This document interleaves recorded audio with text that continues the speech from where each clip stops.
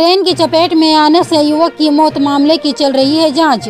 आप देख रहे हैं धमाका न्यूज़ 24 बिहार के नवादा में एक युवक की मौत हो गई। युवक रेलवे क्रॉसिंग पार कर रहा था।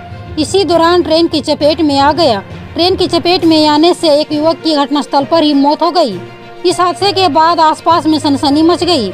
देखते देखते आसपास के लोगों की भीड़ घटनास्थल पर ही जाम हो गई। ये घटना शुक्रवार को नवादा शहर के तीन नंबर स्टैंड के रेलवे क्रॉसिंग के पास की है।